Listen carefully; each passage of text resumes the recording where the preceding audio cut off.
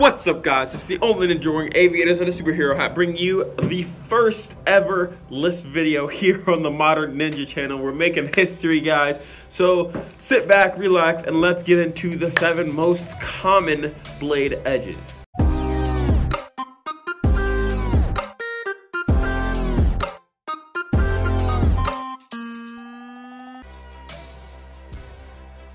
Starting with probably the most popular and common blade type, the drop point is the most common and popular in the realm of hunting and large pocket knives. However, this blade is good for tactical and survival usages as well. With a convex shape, a sloping spine, and a lowered point, these blades are especially useful for controlled cuts, allowing hunters to skin animals, with its only downside being it's not that great for piercing.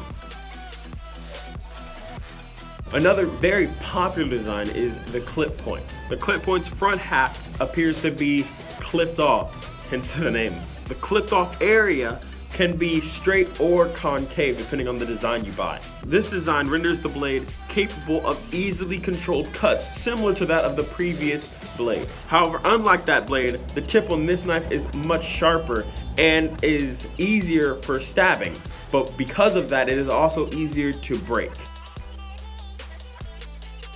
A spear point's blade tip aligns with the center of the blade in the design, often resulting in a double-sided knife effect. Commonly used in throwing knives, this allows the blade to effortlessly stab into targets. This design also allows for durability and long-lasting usages. However, this blade is not the best at cutting things. This blade specializes in cutting and slicing. A long flat edge makes this design popular with emergency responders who need a knife that can cut through seatbelts or other restraints. Sailors also love this blade for its ability to cut through lines of varying thickness without cutting into sails or other sailing equipment. The false point at the tip prevents it from accidentally puncturing things you don't want to puncture. Coming from Japanese samurai swords, the modern Tanto blade is the Americanized version that came to fame in the 80s on tactical knives. These blades are popular with military personnel and law enforcement groups for their strength, versatility, and the ability to cut through a very large variety of objects. These blades are basically the jack of all trades for knives.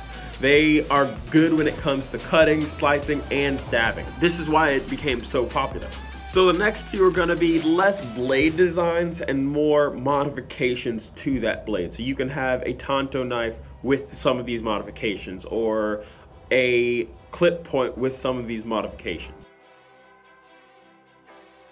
Oftentimes just being the tip cut off a spear point or Tanto blade, this design almost exclusively is used by boating and other water sports making sure you won't accidentally stab something important while allowing you to make cuts to fishing line or rope or any other object you might have at sea.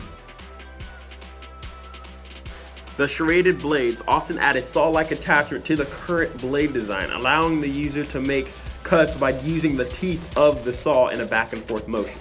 Alright guys, that is all I have for you today. I hope you guys enjoyed this video. If you want to see more, let me know down in the comments. If you want to see another list, give me some ideas in the comments below. Let me know what you guys want to see. If you want to see something else, tell me that too. But either way, don't forget to like, comment, and subscribe if you want to get more of my content. And until next time, my name is DJ Moore. This is The Modern Ninja, and I'm out.